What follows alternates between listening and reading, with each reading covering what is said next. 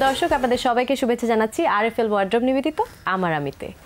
আজকে আমার সাথে আছে দুজন অতিথি তার একজন এই প্রজন্মের খুব জনপ্রিয় একজন অভিনেত্রী।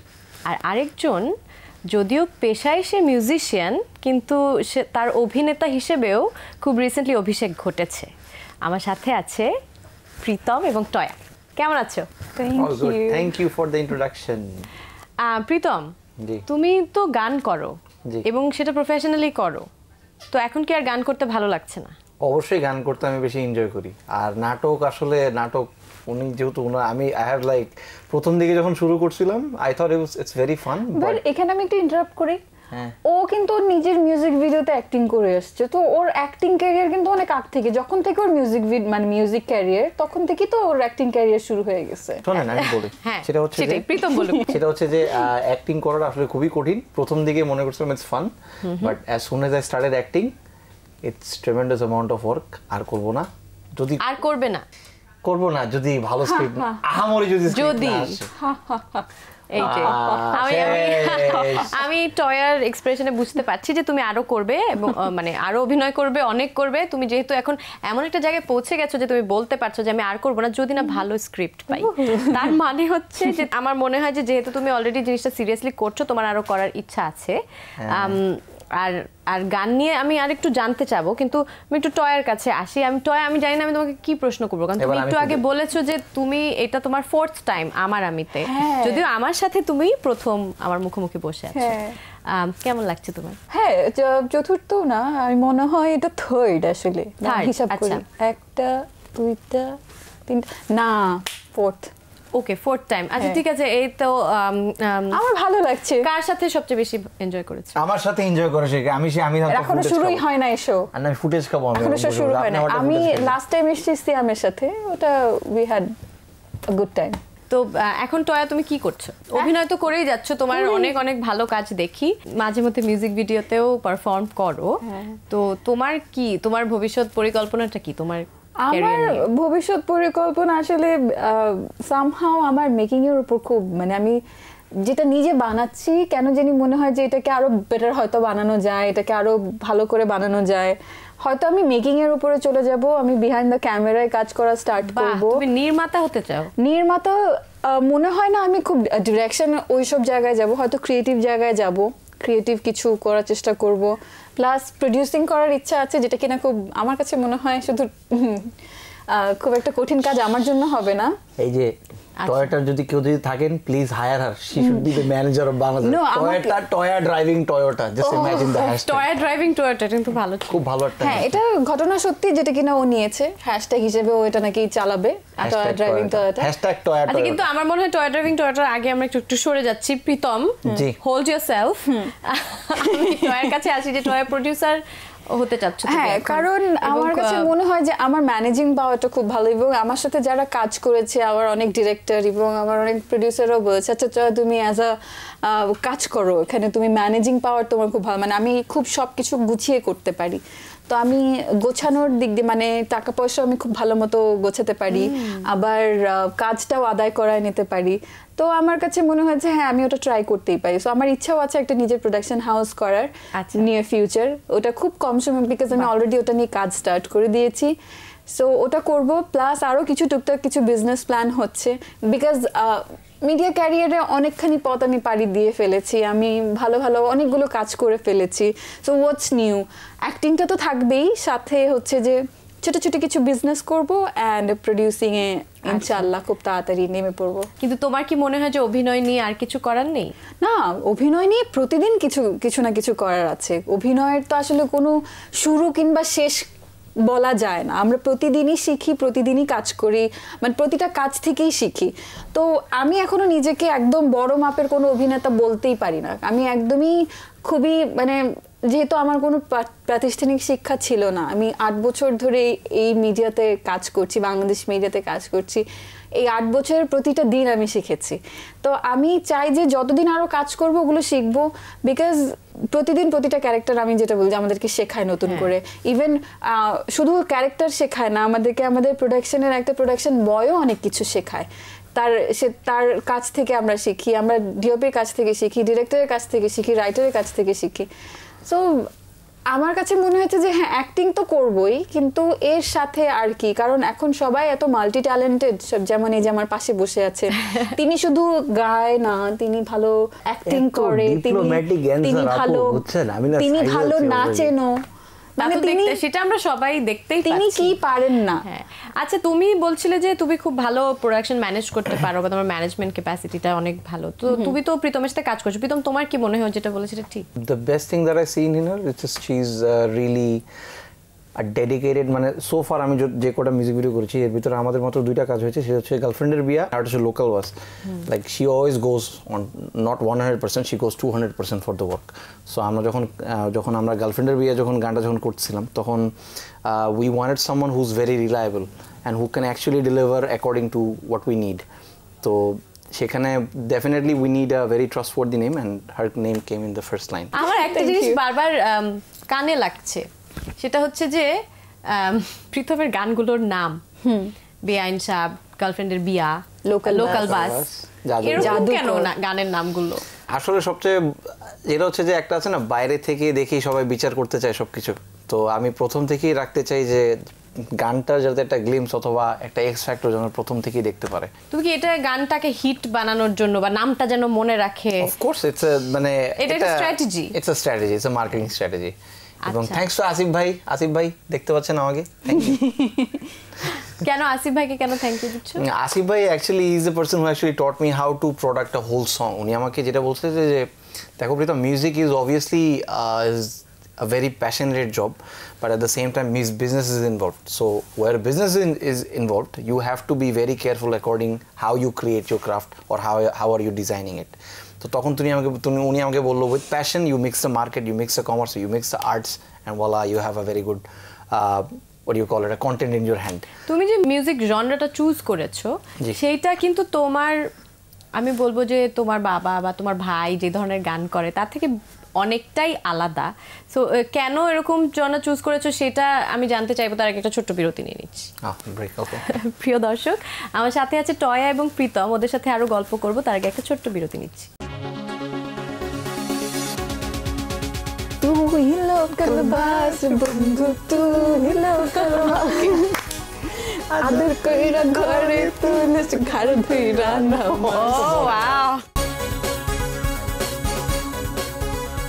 ফিরে এলাম বিরতির পর আমার সাথে আছে টয়া এবং প্রীতম। ব্রেকে যাওয়ার আগে প্রীতমের সাথে কথা হচ্ছিল যে তুমি যেই ধরনের গান চুজ করেছ বা যে ধরনের গান তুমি করছ এখন প্রডিউস আমি জানি না যে সেটাই তোমার প্যাশন কিনা আম, কিন্তু সেটা আমি তোমার ফ্যামিলির অন্য যারা গান করেছে করছে তাদের থেকে আলাদা।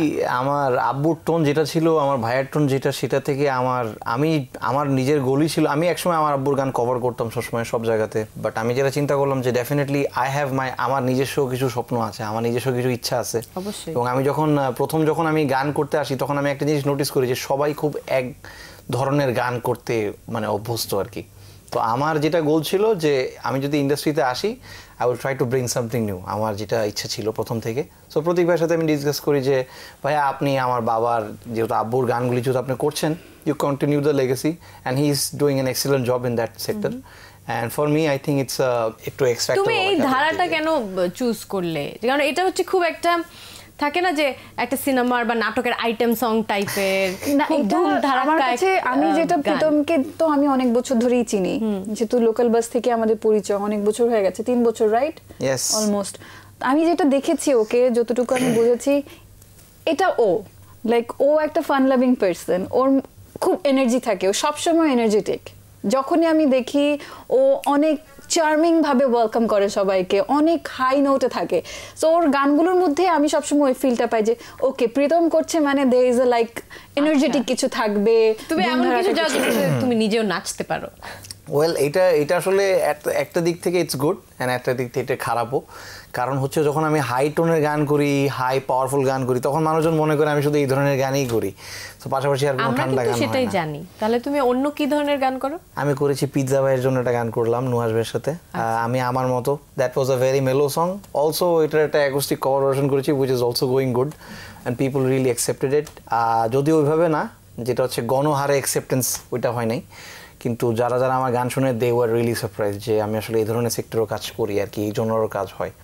তো হ্যাঁ একটু কনফ্লিক্ট থাকে but we have to balance end of the day this is image business and all that তোমাদের দুজন তোমরা দুজন তো কাজ করছ বললে লোকাল বাস থেকে। লোকাল বাস থেকে অনেক দিন ধরে। না হ্যাঁ। বেয়ান সাহেব আমি নিজের বানায় ফেলছি। নট বেয়ান সাহেব হচ্ছে বিকজ বেয়ান সাহেব আমি এত জায়গায় নেচেছি এত কভার করেছি শোতে বিয়েতে মানে এত করে নিজের আমার কাছে মনে হয় বেয়ান সাহেব আমারই। একটু নেচে দেখাবে এখন। কি বলব? এই বাবা, লজ্জা লজ্জা না না বেয়ান সাহেব বেয়ান সাহেব তো আমার আপনি আপনি এভাবে বসে আছেন কেন? আমি তো পারি না। এইভাবে হাত এইভাবে এরকম? এরকম। And লেটস ট্রাই হ্যাঁ করো। তুই লোকাল বাস বন্ধু তুই লোকাল আদর কইরা ঘরে তুলে ঘর ধুইরা ও wow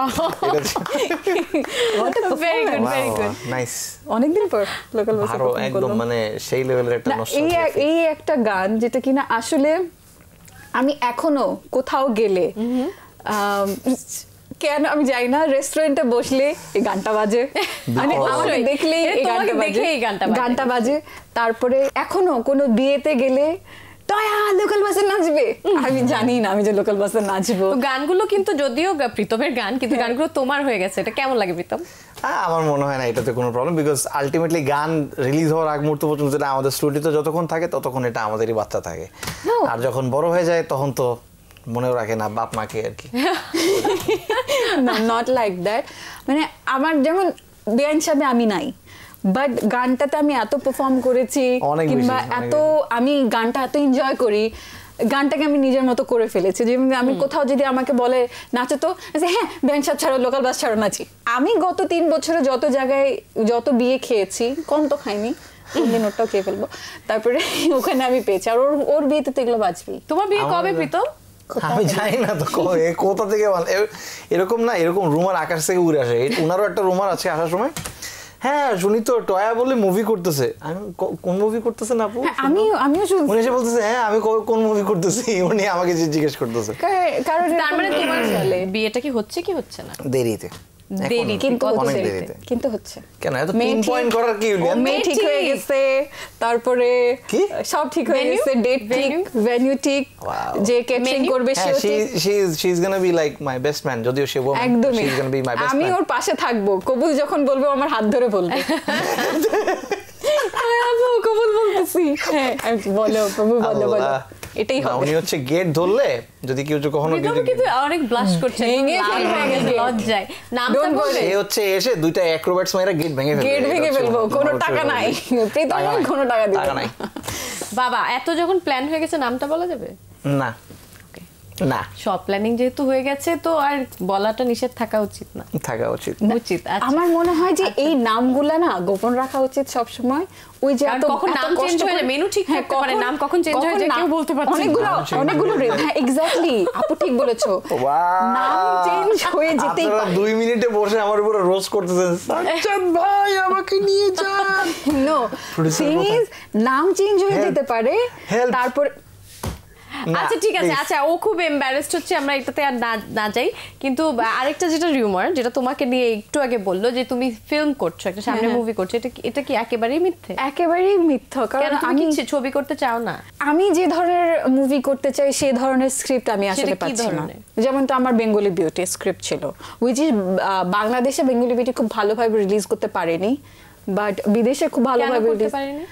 মার্কেটিং প্রবলেম হয় বিভিন্ন আমি আবার রিসেন্টলি একটা জিনিস যেটা হচ্ছে যে হলগুলি বন্ধ হয়ে যাচ্ছে। না না আমার হল ইস্যু ছিল না। বন্ধ হয়ে যাচ্ছে ওটা ওইটাও না। ওইটাও না। এটা যেটা যেটা হচ্ছে যে প্রত্যেকটা মুভি আমাদের কিন্তু অনেক মুভি আছে। এখন এই মুভিগুলি যদি আমরা দেখি দেখা যায় সবগুলি রিলিজ একসাথে। আমি এই জিনিসটা খেয়াল করলাম সবার রিলিজ সবসময় একসাথে হয়। তো হলওয়ালা যারা সিঙ্গেল যেগুলি কমপ্লেক্স মানে যেগুলি একটা করে হল ওরা কীভাবে স্পেস দেবে? প্রত্যেকটা মুভিরই একটা স্পেস দরকার। এইটা কেউ একসাথে বসে ডিসাইড করতে চায় না। হ্যাঁ, হ্যাঁ মানে বলতে চাচ্ছ যে একটু কোঅর্ডিনেশন হ্যাঁ, coordination থাকলে তো think we can save this নির্মাতাদের industry. মধ্যে বা যারা এই প্রোডাকশনের সাথে জড়িত তাদের সবাই চায় যে একটা বড় দিনের সাথে একটা বড় ইভেন্টের সাথে ট্যাক্ট হইতে। এটা মেবি এটা একটা মাথার মধ্যে সাইকোলজিক্যাল ব্যাপার ঢুকে পড়েছে আচ্ছা সবার কিন্তু আমি তোমার ওই তোমার নিজের বেঙ্গলি বিউটি নিয়ে আরেকটু কথা বলব তোমার আরেকটু ফিল্ম করার বা তো সেই বিষয়ে কি পরিকল্পনা সেটা বিষয়ে জানব কিন্তু তার আগে একটা ছোট্ট বিরতি নিয়ে নিচ্ছি। ইয়েস প্রিয় দর্শক আমি গল্প করছি টয়া এবং প্রীতমের সাথে। প্রীতম এখন খুব ব্লাশ করছে। হ্যাঁ? কিছুক্ষণ আর কথা বলবে না আমি টয়ের সাথে কথা বলব কিন্তু একটা ছোট্ট বিরতি নিচ্ছি তার আগে। আরে এই যে সাহেব মাইন্ড খাইয়েন না কালা চশমা পরলে কিন্তু বেল পাবেন না। ফিরে এলাম বিরতির পর। আমার সাথে আছে টয়া এবং প্রীতম। প্রীতম তো যেহেতু এখন ওই ওর বিবাহের বিষয়ে কথা বলার কারণে খুব লজ্জিত। সেই জন্য ও এখন। একটু চুপ থাকবে। শুধু শুধু পেটাচ্ছে নুডলস এর মতো আপনি সোজা কোশ্চেন করুন তো আমার কি কি জিজ্ঞেস করবেন? কেন নাম কেন বলব? এই যে সোজা নাম বলব কোশ্চেন না। করো কিন্তু নাম বলব না। এইটা হ্যাঁ এখানে এই যে আমি দুইটা বলতে এটা তখনও বলতে চেয়েছিলাম। No, না নাম বলব না। হ্যাঁ। মা মারলো আমাকে। মায়ের হবে। এটা কি? চাইলে মারলো। না না না না উনি উনি বড় আপুর মতো সো প্যারা না। বড় আপুর মতো। নাম না বলার পিছনে দুইটা রিজন বলেছিলাম না? একটা হচ্ছে যে নাম বদলে যেতে পারে। যেতে পারে। আরেকটা রিজন হচ্ছে নাম বললে চাকরি থাকবে না। না আমরা চাই যে যেহেতু বিয়ে করবই তাহলে পার্টনারটাকে একটু গ্র্যান্ড ভাবে লঞ্চ করি। আচ্ছা। তো গ্র্যান্ড লঞ্চিং এর জন্য নাম না বলা রাইট তোমরা দুইজনই আসলে মার্কেটিং বিজনেস এই বিষয়ে এত তোমাদের আহ, জ্ঞান এবং দক্ষতা আমার খুব ভালো লাগছে এটা জেনে। জীবনটাই মার্কেটিং বাংলাদেশ মানেই মার্কেটিং আমি বসে আছি এটাই মার্কেটিং মিথিলা আপু কিনে শো করছে সেটা মার্কেটিং স্পন্সর্স মার্কেটিং। সবাই মার্কেটিং আচ্ছা ঠিক আছে এখন আমরা একটু টয়ার ওই সিনেমার বিষয়টা আমি একটু জানতে চাচ্ছি। প্লিজ বেঙ্গলি বিউটি নিয়ে একটু যদি বলো। বেঙ্গলি বিউটি মুভিটা ভীষণ সুন্দর একটা মুভি আমি কাজ করার সময় বুঝেছি। এটা হচ্ছে একটা পিরিয়ডিক্যাল মুভি যেটা কিনা নাইনটিন সেভেন্টি টু সেভেন্টি ফাইভের একটা story it's a romantic story কিন্তু সামহাও ওই যে হল মালিকরা হয়তো আস্থা পায়নি এই মুভিটা চলতে পারবে কিনা কিংবা যে আমি জানি না হয়তো বিগ ব্যানারের সাথে এটা ইনক্লুডেড হয়নি। কোনো না কোনো রিজনে বাংলাদেশের রিলিজ এটা খুবই খুবই ডিজাস্টার টাইপ রিলিজ হয়েছে যেটা আমি বলতে চাই। একটু কষ্ট লেগেছে বাট ইউনো আমার কাছে খারাপ লাগেনি কারণ আমি খুব সুন্দর একটা মুভির সাথে অ্যাসোসিয়েটেড হয়েছি। আচ্ছা আমি প্রীতমকে একটু জিজ্ঞেস করি যে তোমার হাতে কি ওটা চশমা। পড়ো দেখি কেমন দেখাচ্ছে। আরে বাহ very nice very beautiful awesome nice nice buttering thank you চশমায় তোমার চোখে কি মানে জি পাওয়ার এটা স্টাইল না। Okay very good very good তাহলে একটু পরে থাকো। না আমার এখানে গ্লাসের উপর স্ক্র্যাচ করা এই জন্য সমস্যা আর কি।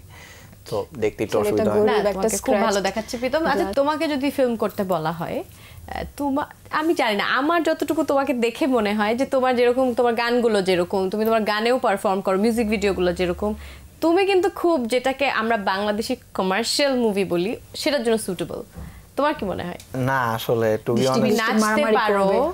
অ্যাকশন সিকোয়েন্স করবে তোমার- কমেডি হয়ে যেটা যারা আপনারা যদি দেখে থাকেন ডেফিনেটলি এটা মাঝখানে একটা রুমার ছিল যে আমি মূলত কোনো মুভি করতেছি অথবা কোনো মুভির সাথে সাইন হচ্ছি উইচ ইজ কমপ্লিটলি ফলস আমি আসলে যেটা বললাম মুভিতে মিউজিক করেছি বাট মুভিতে অ্যাক্টিং এর জন্য অনেকে অনেকে বলছিল অনেকে অলরেডি নিউজও করে ফেলেছিল যে আমি বলে মুভিতে থাকছি অথবা something like that but no it's not happening definitely আগে অ্যাক্টিং যদি করতে হয়, আগে আমার কাছে মনে হয় যে নাটকটা আসলে অনেক বড়টা হাতে করি এবং বাংলাদেশের নাটক আরও অনেক ভিন্ন হতে পারে আরও ডিফারেন্ট স্টোরি আসতে পারে এবং that that's a thing that I which I realise যে ভালো ডিরেক্টর যারা they have a lot of to give like example Nuhash Humayun the guy he is my one of my best friend Ehsan Kabir the guy that I work with Sabila who's tremendous good actress আমি তার সাথে কাজ করে আমি অনেক কিছু শিখতে পারছি।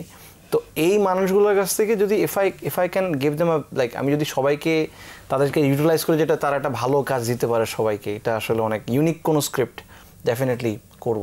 সো আমি আসলে ওটার দিকেই আচ্ছা একটা বাংলাদেশে আসলে পৃথিবীর অনেক জায়গাতেই একটা ট্রেন্ড চলে এসেছিল যে মিউজিশিয়ানরা সবাই অ্যাক্টিং করতে শুরু করেছে। তো এটা কিন্তু প্রীতম শুরু থেকেই শুরু করেছে। সো তার মানে আমরা আমার মনে হচ্ছে যে ভবিষ্যতে আমরা প্রীতমকে গান এবং অভিনয় একইভাবে সমান তালে দেখতে পাচ্ছি। সব তাহলে আমার মনে হয় না বাট হ্যাঁ আমার কেন যেন মনে হচ্ছে? বছরে একটা দুইটা বছরে একটা দুইটা আপু কাজ অবশ্যই যেটা যেটা যেটা অবশ্যই ভালো হবে অনেক বেশি ভালো হবে সেগুলো আমি অবশ্যই করব। কারণ যেমন আমি যেটা বললাম out of the box script ওই ধরনের স্ক্রিপ্ট যেটা আসলে কেউ দেখতে চায় না মানে কেউ দেখে না সহজে আর কি। ওই স্ক্রিপ্টগুলি আর কি করব। যেমন পাশের বাসার মেয়ের সাথে প্রেম করতেছে ব্যাচেলার ছেলে প্রেম করতে চায় ও করতে চায় এ করতে দেখি these are very everyday stories আসলে আউট অফ দ্য বক্স অনেক কিছুই বলা আছে। ওগুলো যদি করা যায় তাহলে আমার মনে হয় আচ্ছা তার মানে তুমি একটু out of the box script পেলে তুমি অভিনয়টা চালিয়ে যাচ্ছ এবং আমার ধারণা তুমি সেগুলো অনেক পাবে। গুড লাক উইথ দ্যাট আর um, আর ওই বিয়ের দাওয়াতটা দিও। নাম যাই হোক। আর ভাই তুলে নেন আমি কোথায়? আমি টয়ের কাছে আসি যে তুমি তো বললে যে তোমার প্রোডাকশন হাউস সামনে শুরু হবে। আরও কিছু বিজনেস প্ল্যান ট্যান আছে বাট অভিনয়টা তুমি চালিয়ে যেতে চাচ্ছ। সেটা হয়তো কমে যাবে যেহেতু অনেক দিকেই মাথা দিতে হবে মাথা খাওয়াবো সেটা হয়তো কমে যাবে কিন্তু আর প্রীতমকে যেহেতু জিজ্ঞেস করলাম এটা জেন্ডার ডিসক্রিমিনেশন হয়ে যায় তোমার বিবাহের বিষয়টা। Jokes on you Toyota please সেটা হচ্ছে হ্যাঁ। ওনার ডিসেম্বরে বিয়ে হওয়ার কথা। Wow. That's a news that's a news হ্যাঁ কিন্তু কিন্তু এখন মনে হয় সেটা ডিলে হবে। দ্যাটস আ নিউজ সব স্পয়েল করে সব স্পয়েল করে দেব। সব নিউজ নো ডেফিনেটলি আমার এবছরই আমি চেষ্টা করছিলাম যে এবছরই আমি হয়তো একদম তোমারও সব মেনু ভেনু পাত্র ঠিক? না আমি বিয়ে করে হলে কেউ টের পাবে না। আহ, তুমি কি জানো আমি যে করি নাই এমন কোনো নিউজ আছে তোমার কাছে? আমি তো করেও ফেলতে পারি নাকি? আমি বুঝছ? মানে আমি তুমি তাহলে তাহলে ব্যাপারটা টেম্পো চালাও আমি করলে হরতাল। না চাক্কাটাল। না হরতাল হরতাল এটা হরতালই। আপনার ফ্যানরা হরতাল করবে। নো আসলে আমার ইচ্ছা আছে এবছর করার কিন্তু আহ, একটু পারিবারিক কারণে হয়তো বা খুশির কারণে পারিবারিক খুশির রিজনে। হ্যাঁ।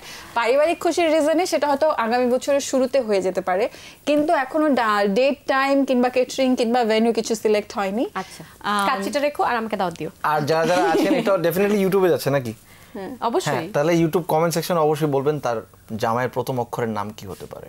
প্রথম অক্ষরের নাম না নামের প্রথম অক্ষর। নামের প্রথম আচ্ছা, ঠিক আছে এনিওয়ে ঠিক আছে it's okay you are nervous I get it তো Wow. আমরা এখন আমরা অনুষ্ঠানের একদম শেষ পর্যায়ে চলে এসেছি। জি। তো আমি আহ, তোমাদেরকে রিকোয়েস্ট করব যে একটা তুমি একটা গান গাও আর তুমি একটু পারফর্ম করে দেখাও। দুজন মাঝখানে একটুখানি করলাম কিন্তু আমরা যেতে যেতে আরেকবার করি। আর তার আগে বলছি যে তোমাদের জন্য ছোট্ট একটা গিফট আছে কারণ তোমরা কষ্ট করে এখানে এসছো ভিগোর তরফ থেকে এই গিফট আর দুজনেরই কাজে আসবে আশা করছি যেহেতু সামনে সংসার শুরু সংসার শুরু হচ্ছে। হ্যাঁ।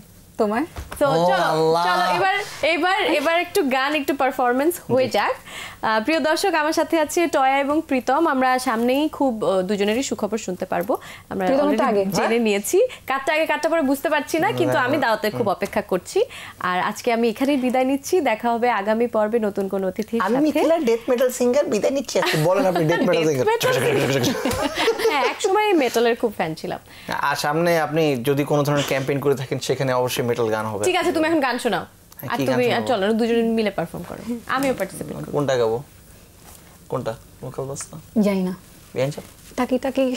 না। আই টাকি টাকি না তো গাও। লোকাল বাসে তো অলরেডি পারফর্ম করে ফেলছি আমরা তাহলে বিয়ান সাহেবই যাই। গাও বা কি জানি আচ্ছা, বান্ধবী কি কি জানি? না ওইটাতে ইলেকট্রিক মিউজিক লাগবে আসলে।